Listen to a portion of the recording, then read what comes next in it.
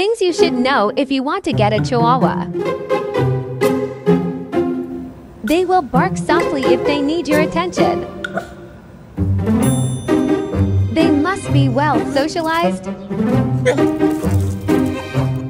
They may chew their paws if they are stressed. Or it may just be tasty. Some